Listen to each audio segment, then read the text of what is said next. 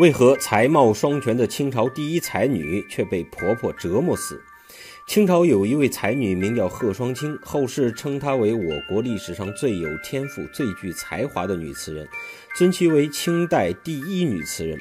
她出身农家，因为舅舅在镇上的学馆做杂役，她也被允许旁听，耳濡目染，学会了吟诗填词，成长为了一个才女。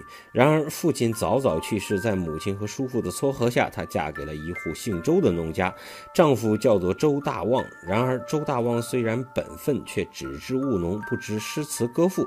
婆婆杨氏又强悍泼辣，对贺双清刁难折磨。周大旺不仅不护着，甚至也一一同对其折磨。